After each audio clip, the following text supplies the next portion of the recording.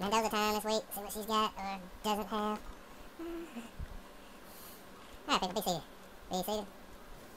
Stay back. I'm sure it is. Okay, what does she have this week?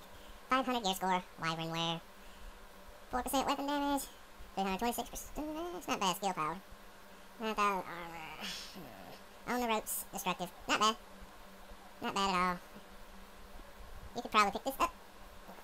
Okay, suckle off. Uh, 12% skill haste. Not very good. Oh, utilities. Mm, ah, let's see.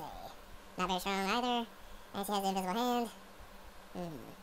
If you don't have these two, the rail splitter and the invisible hand, probably a good idea to pick them up because there are some changes coming to them, and they are 500 now. So it could be a good pickup. And looks like this week wasn't too good.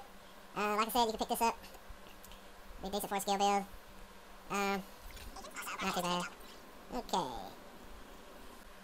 Okay, Cassie Mendoza this week. Just like this trash here. Not very good.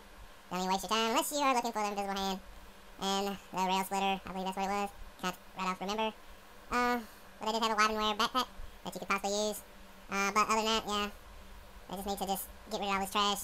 Matter of fact, I do believe this is most of the stuff right here that was left in the inventory last week. They set it on fire. Couldn't blame them. But yeah, that's it for this week. Waste of time. As usual, have a good one. Peace out. See you next week.